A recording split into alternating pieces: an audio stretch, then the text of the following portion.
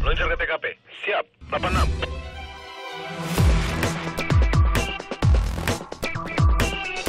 bergabung dengan rekan-rekan dari Sabada dan juga persiapan membackup apabila dari zona barat akan maupun timur membutuhkan kekuatan. Raja jalan mereka. Yang lain seovos, tapi kita mobile untuk membackup tiga itu timur, tengah, barat. Setelah kegiatan apel gabungan di Maporestabes, tiba-tiba kami dikejutkan ada tamu yang ingin ketemu lagi liburan. lagi liburan. Kemarin kita nungguin di situ. Nungguin sono, nungguin bapak tuh. Wah, padahal masuk aja karena apa? Fans banget ya. Di Bandung ini polisi itu milik masyarakat. Jadi kapan pun jam berapapun kami nggak merasa terganggu. Silahkan. Ini teman-teman Prabu, gitu kan. Kami dari tim Prabu siap melayani di mana pun, masyarakat dari mana pun berada di kota Bandung itu harus benar-benar aman nyaman. Oh ini istri. Ii. Jam 12 malam. Sama dia Pak ya. Iya ibu iya. Makasih Bu. Ini merupakan apresiasi dan semangat tersendiri bagi kami tim Prabu Polrestabes Bandung untuk bisa lebih memberikan yang terbaik terhadap seluruh lapisan masyarakat.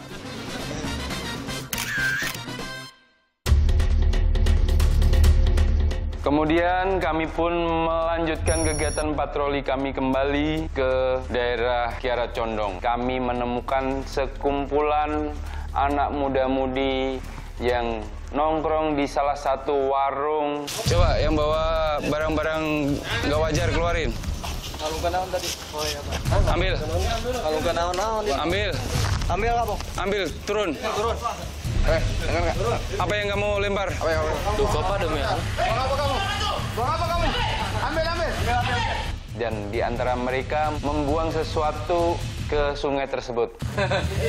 Ya udah kamu ngomong aja. Pegang ini apa ini? Buka, buka, buka, buka, buka, buka, buka, buka, buka. Itu apa? Itu apa? Buka, buka, buka, buka, buka, buka apa? Ini obat apa?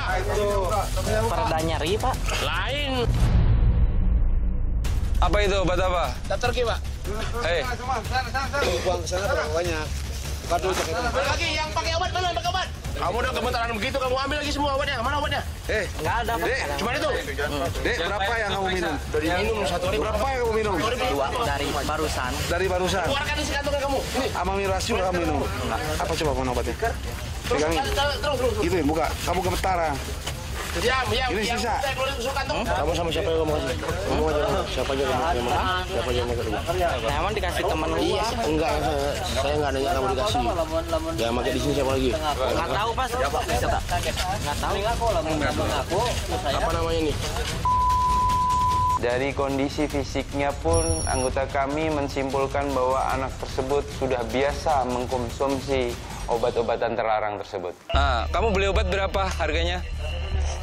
Baginya setengah, 30, 30 ribu. Dapat berapa butir? 5. Tiap hari pesan ini. Ini apa kamu? Bohong lagi kamu mah. Gak tahu saya pak. Itu kami teman dekat kamu tahu nggak? Kamu udah minum berapa butir sehari ini? 5. 5 butir. Ah, ini sini. Kami juga melakukan komunikasi terhadap tokoh-tokoh masyarakat di lokasi tersebut. Tolong ya dihimbau ya anak-anak ini, anak-anak muda ini biar semuanya pada benar. Kalau bukan kita yang orang tua, orang yang udah dewasa siapa lagi? Silahkan nongkrong silahkan. Tapi jangan dibarengin dengan minum-minum kayak begitu. Kami ini peduli sama mereka. Generasinya, Pak. Bener nggak? Iya, iya. Kalau nggak peduli ah, buat apa saya? Ya iya. Ini obat, sehari aja dia udah minum 5 butir. Nah, jadinya koplo gini kan. Tapi kalau udah terkontaminasi obat-obatan kayak gini, apa pun bisa terjadi. Tapi itu tiap hari kamu minum dan pesan dan beli. Hah? Sehari kamu minum berapa? Cuma 5. Sehari tiap hari. Enggak tiap hari kalau ada uang. Tapi minimal tiap hari kamu minum berapa? 5. Tiap hari. Maksimal 5. Hari ini minum berapa? 5. Kemarin? 4. Kemarinnya? 5. Kemarinnya? Eh, 5 kayaknya. Kemarinnya lagi? 4 atau antara 5. Ah, nah, apa nggak koplo jadinya otaknya? terkait dengan obat-obatan terlarang tersebut bisa berefek kecanduan dan membahayakan terhadap kesehatan yang bersangkutan. Ya Pak ya, kita sama-sama coba kita edukasi dia, kasih pengarahan, pengertian. Kalau masih bisa baik, kenapa tidak? Ini yang merugi itu hanya diri dia dan keluarga. Secara umumnya juga rugilah bangsa ini. Kalau generasi-generasi bangsa semuanya kayak begini. Ya, ini contoh yang tidak baik. Kami pun juga melakukan pemeriksaan terhadap anak-anak muda yang lain. Kamu usiamu berapa tahun? 19. 19. Yang benar. Benar, ya, Bapak udah lulus, aku mau Mana KTP? nggak bawa tuh. Hah? Nggak bawa. Apa yang dibawa? Nggak bawa apa-apa. Kamu orang mana? Orang. Kamu ke sini sama siapa? Itu sama itu. Sama yang mana? Sama. Siapa ya? Kan sama Iyong tadi aku ih. Tanggung jawab Yang atuh. pulang ya ini kan Bapak.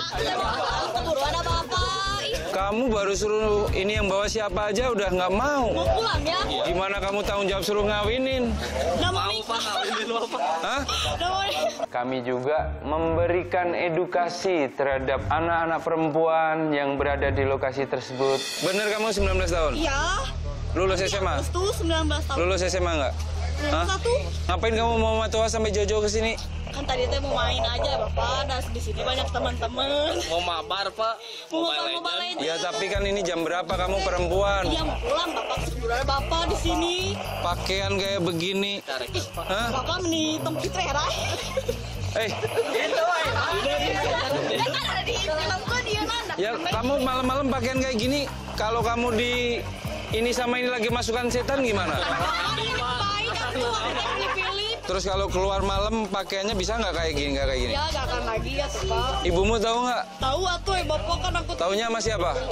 udah dijemput. Kamu jemput ke rumah? Iya. Kalau nggak jemput ke rumah gimana? Yang ini nggak ngaku jemput ke rumah. Kamu ngaku dijemput ke rumah. Jemput kusan gitu. Eh, ini yang bohong siapa coba? ah? Masa yang bohong saya coba?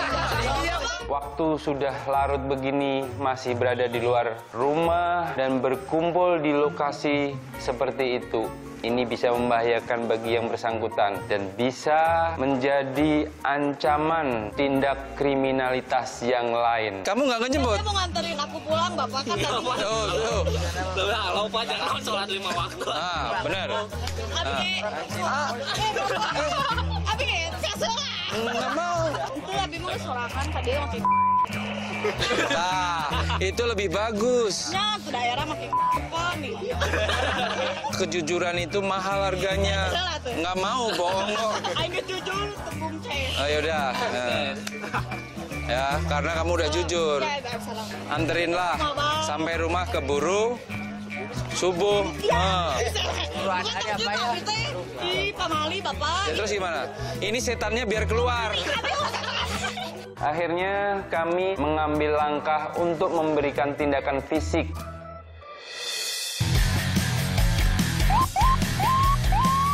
Kami mendapatkan undangan silaturahmi maupun sosialisasi program Sejuta Kawan dari salah satu komunitas motor di Kota Bandung.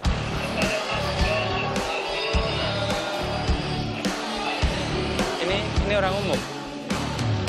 Jadi mereka datang ini untuk makan gitu. Ya. Memang ini lagi-lagi in sekarang kafe-kafe biker ini. Juga. Enak. Murah sih, disesuaikan dengan biker. Biker sih. Tapi keren loh bang ini.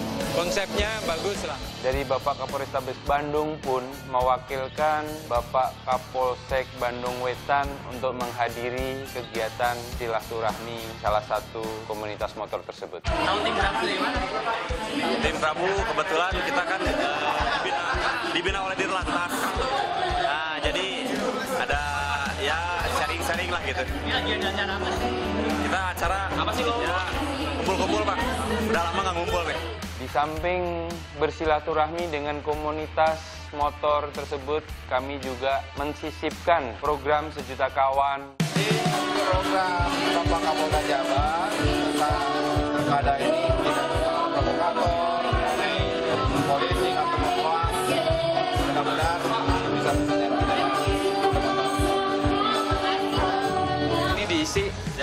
halaman yang kedua. Ini himbauan dari Kapolres Tabes mengenai pilkada. Tolong minta ya. Ya, ya. Saya tolongin Pak, tenang. Pakai lipstick ini tuh. Nah, ini ada ada tanda Oh, gitu. Kemudian acara tersebut dibuka oleh Bapak Kapolsek Bandung Wetan, Bapak Kompol Hidayatullah. silaturahmi dan sosialisasi yang diadakan oleh komunitas eh, Asoy Kebo itu jangan hanya untuk malam ini saja tetapi berikut malam-malam seterusnya harus terjalin silaturahmi komunikasi yang baik. Alhamdulillah tim Prabu ini sangat dirasakan oleh masyarakat. Mudah-mudahan tim Prabu bisa menambah silaturahmi dengan elemen semua yang ada di kota Bandung ini. Kemudian tidak lupa kami dari tim Prabu Polrestabes Bandung pun juga memberikan himbauan-himbauan, pesan-pesan Kamtipmas. Pondasi dari keberhasilan adalah satu hal, kebersamaan dan soliditas. Tanpa adanya kerjasama dari seluruh lapisan masyarakat, tidak akan mungkin terwujud kondusivitas keamanan. Kedekatan kami dari seluruh komunitas motor maupun seluruh lapisan masyarakat berperan aktif bahu-membahu untuk menjaga kondusivitas keamanan dan ketertiban khususnya di wilayah hukum Polrestabes Bandung. Siapa kita? Tim Prabu! Siapa kita? Tim